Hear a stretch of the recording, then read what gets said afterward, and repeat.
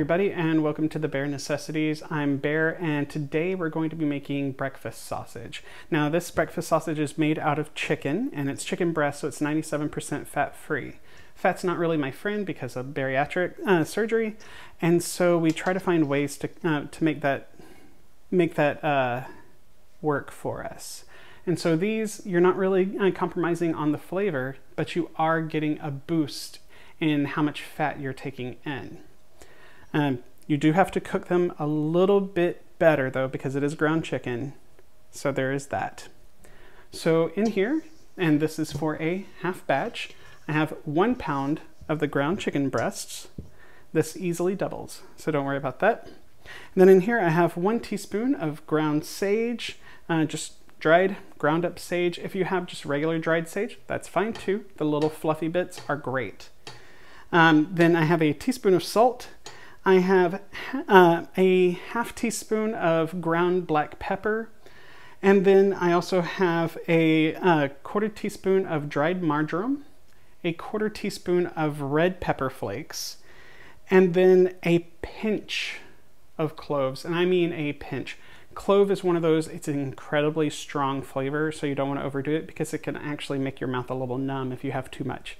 So, cloves are awesome for that. And then um, I have one, uh, one half tablespoon of uh, brown sugar. Let me remember what those words are. So into the chicken, we just mix all of our, our spices and seasonings and sugar. This is really simple, y'all. Not even a joke. And we just mix it all together. All right, these are mixed and ready to go. It's that simple. 45 seconds. I actually think you spend more time getting all the spices together than mixing it together. Okay. Now I have a scoop because y'all know I like to scoop.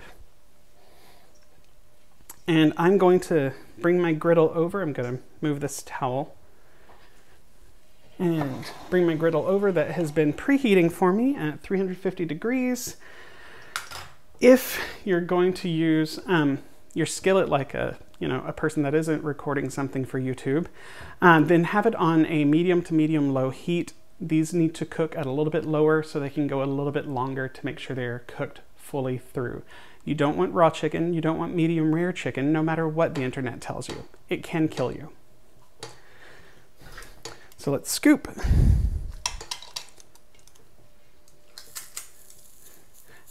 And just put them on your griddle. If your griddle is not non-stick, which mine is technically, you can use a little bit of spray. And when I say a little bit, you need the slightest amount. It doesn't take much. And that's actually how they measure it too. Like a spray to give you an idea, this can is 1,500 servings. So it's just a quick spritz. That's all you ever need.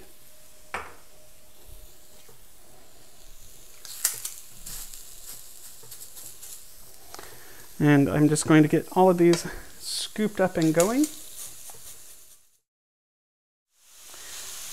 All right, now that they are all scooped and going, it's been about another 30 seconds. I grabbed a spatula for myself I have reduced the heat on my pan down to about 275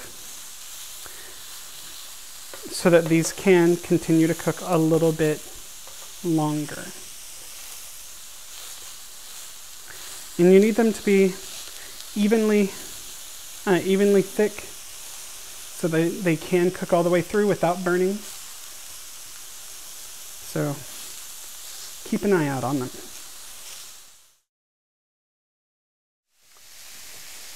It's been about four and a half minutes or so. I went ahead and flipped them. I'm going to continue to cook these for about six more minutes. I'll check to see their doneness by doing the, uh, the cook scale, which remember, if anybody knows it, otherwise you're going to learn it, is putting your fingers together on your hand and feeling the pad of your hand. Here is rare, like that's very rare, so it's very soft. This is going to be medium-ish, medium well, and well. And right now we are definitely at rare. So let's keep these cooking all the way through and I'll see you back in about three seconds. Um, these have cooked an additional seven minutes. The sides weren't quite setting just yet. Usually it's easier in a pan because you can put a lid on the top of them and then the steam will help finish cooking them through. So I just had to let them go a tiny bit longer at a lower temperature to make sure they were cooked all the way through. They have met my, my feeling. These are well. So now what I'll do is I have already turned off the heat to my griddle.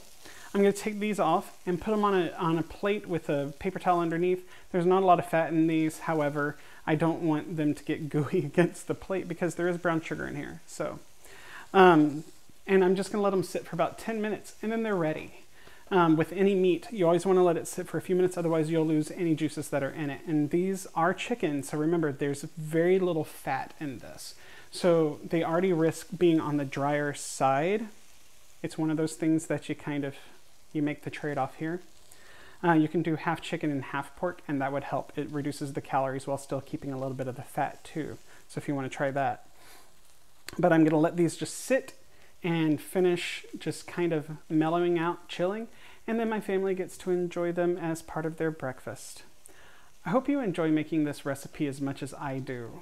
Uh, this is one of my favorite sausage recipes. It's really easy. As you saw, it's only a couple of ingredients and it's pretty fast.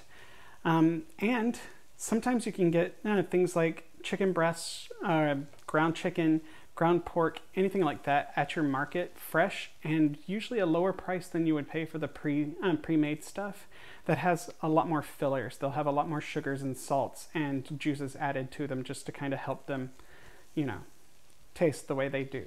So if you want to have something that's a little bit fresher, nicer, and definitely meatier, try making it yourself. You might be surprised. You might just like it. Until I see y'all next week, bye.